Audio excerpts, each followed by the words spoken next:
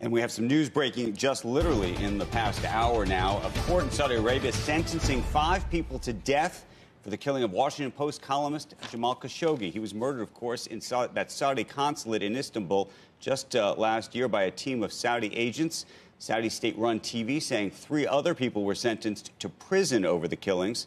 And uh, reports, uh, reports say that the investigation found that the former top advisor to Crown Prince Mohammed bin Salman had no proven involvement in the killing. Now, the kingdom has denied that MBS had any involvement or knowledge of the operation. So, um, some form of justice being doled out today, but uh, there will be lots of questions. I don't think this is a story that ends. I don't think anybody believes it. I don't think anybody believes it.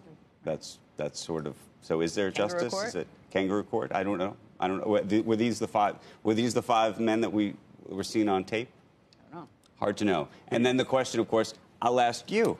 The question, of course, is does this change business?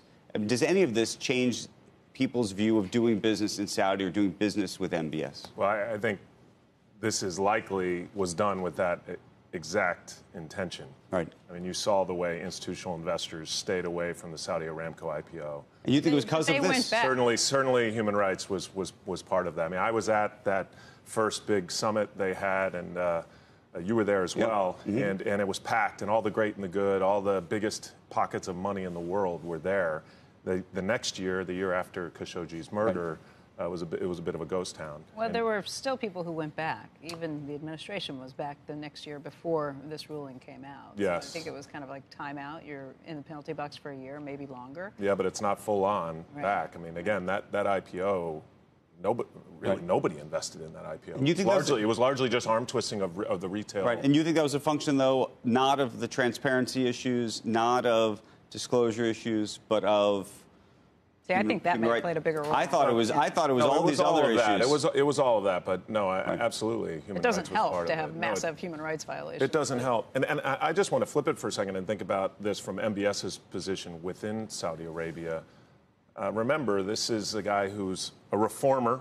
Uh, I put that in quotes to some extent, but indeed there are some true reforms. But at the same time, he's a reformer. He's buying yachts, he's buying paintings, he's buying chalets, and he's locking up. Uh, I don't remember the exact number. Over 100, over 100 important people in the in the Ritz Carlton there. Right. And now this, you have five people sentenced to death. Do people look at this and say, "Now wait a minute, they were actually following out your orders"?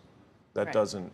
That's, what I mean. I don't. Uh, that I don't doesn't know feel that this, just. I don't know Right. that this turns the page, turns the page, or brings them into a new chapter on Right. any of these The entire situation is so disheartening. It's hard to even. It's hard to even talk about.